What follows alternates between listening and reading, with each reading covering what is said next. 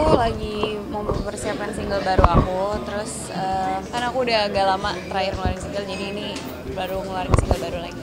Terakhir kalau nggak salah yang soundtrack itu hmm, soundtrack sinetron aku itu udah berapa tahun lalu tujuh tahun lalu kalau nggak salah. Nah apa yang membuat kamu akhirnya pengen Uh, tarik suara gitu Enggak sih emang karena aku awalnya emang pengennya masuknya musik sebenarnya cuman uh, waktu itu kesempatan dan tawarannya adanya di dunia acting gitu jadi aku mau nggak mau harus mulai dari acting dulu baru akhirnya ke dunia musik.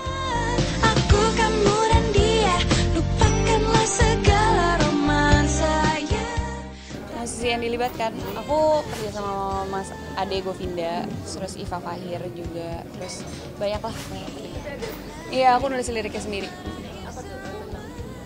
Eh, ya gitu sih tentang cintaan gitu lah. Iya, universal gitu